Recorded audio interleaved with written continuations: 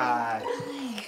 Jake Duran, Pet Recovery Services. Yes, thank you for coming so quickly. Of course, time is of the essence. I'll just need some information. Oh, yes. Well, her name is Aspen.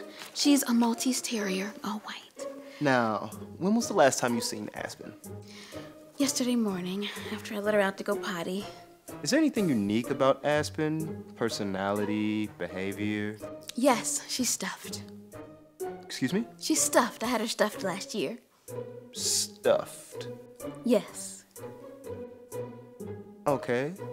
Did you happen to, by chance, actually see her walk away?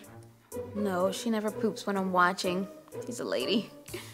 Uh huh. I really hope you can find her. It just breaks my little heart to think that someone could be hurting her.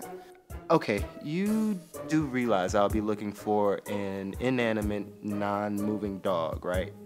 I mean, obviously she didn't run away. Well, of course not. She would never do that.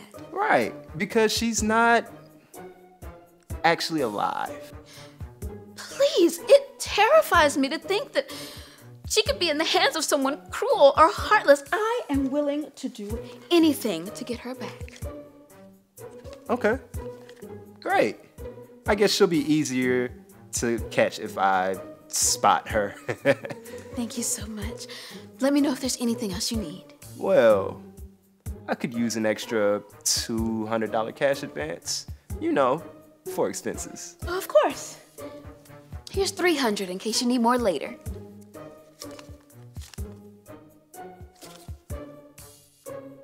I'll be in touch.